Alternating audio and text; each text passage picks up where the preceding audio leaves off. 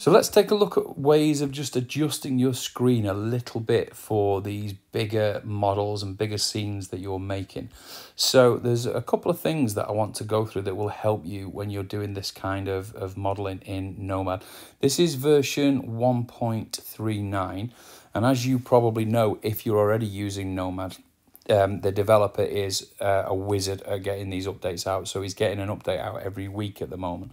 So uh, by the time you watch this, it'll probably be even higher than this. It'll be 1.4 or something. But let's have a look at the things you can do to maximize your screen. So first of all, simply tap on the screen with four fingers and you get that. You get an instant full screen effect. So as you're building your scenes and you're working on your composition, or you just want to see what you're making or even sculpt on what you're making, four finger tap gives you a really good way of uh, just working on a really big blank screen. So let's have a look at the button on the top right and we'll do this button here, close panel on interaction. I'm going to turn that off. And why I like that is you can have now panels open when you want them and they'll stay open while you want the, the, the, the work. So, so for example, if I wanted to keep layers open while I'm working on them, it just stays open until I hit the button and close them. So that's when you want specific buttons open or specific panels for a specific job. And it's good to, to know it's there because you're going to turn it on and off quite a lot.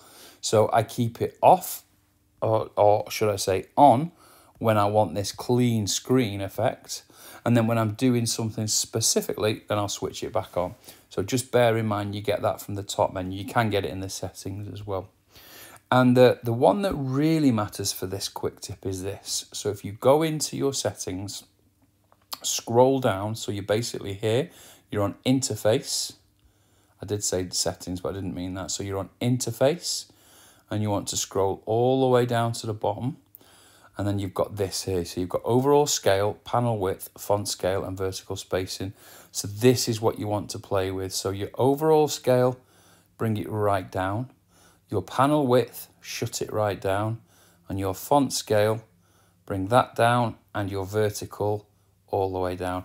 And that gives you a really, really, in fact, if I go back and put that closed panel on interaction again, now, even if you do have your panels open, you've got a, a lot less intrusive um, panel. Now, it is obviously you will sometimes want them open, so it's good to know you can have much more screen space on a normal iPad if you just do those few settings.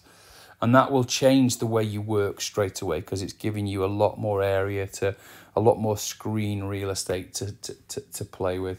And then obviously as I started this video you can just do switch the closed panel on interaction back on and you've got it on and off as as you're working whichever way you prefer but knowing that all of them are there just makes your experience on the iPad that little bit easier.